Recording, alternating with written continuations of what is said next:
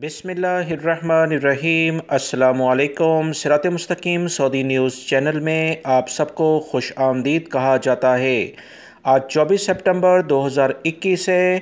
سعودی وزارت صحت کی جانب سے وبائی مرض کرونا کی رپورٹ جاری کر دی گئی ہے، جس میں بتایا گیا ہے کہ پچھلے چوبیس گھنٹوں کے دوران سعودی عرب میں اکاون افراد وبائی مرض کرونا کا شکار ہو چکے ہیں، جبکہ انسٹھ یعنی ففٹی نائن افراد صحتیابی ہوئے۔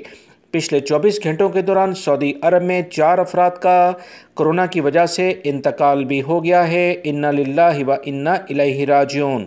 وہ تمام غیر ملکی افراد اور سعودی شہری جنہوں نے وبائی مرض کرونا کی دوسری ڈوز یعنی خوراک نہیں لی، پہلی فرصت میں جلد از جلد اسے لے لیں، کیونکہ سعودی عرب میں آنے والے دنوں میں ہو سکتا ہے کہ کرونا سے متعلقہ ویکسین سے متعلق اہم سختیاں مزید ہو جائیں۔ مزید جو تفصیلات آئی ہیں، اس کے مطابق ریاض ریجن میں چودہ افراد کرونا کا شکار ہوئے۔ مکہ المکرمہ ریجن، جس میں جدہ بھی شامل ہے، بارہ کیسز دیکھے گئے ہیں۔ ایسٹرن ریجن جو دمام سے ملکہ علاقے ہیں، پانچ افراد متاثر ہوئے ہیں۔ مدینہ منورہ ریجن میں چار کیسز ہیں، جزان ریجن میں تین افراد کرونا کا شکار ہوئے۔ مزید جو اطلاعات آئی ہیں، اس کے مطابق قسیم ریجن اور نجران ریجن میں تین تین کیسز، وبائی مرض کرونا کے سامنے آئے، اسیر ریجن اور تبوک ریجن میں بھی دو کیسز دیکھے گئے۔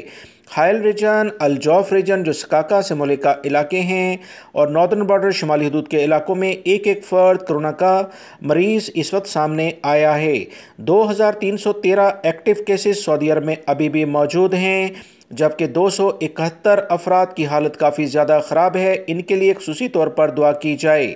دوستو، انٹرنیشنل فلائٹس کے بارے میں کچھ اہم اطلاعات میں نے اپنے دوسرے چینل پر شیئر کی ہیں، جس کا لنک میں نے ڈسکرپشن میں اور کمنٹس باکس میں پن اپ کر دیا ہے، اسے لازمی دیکھیے گا۔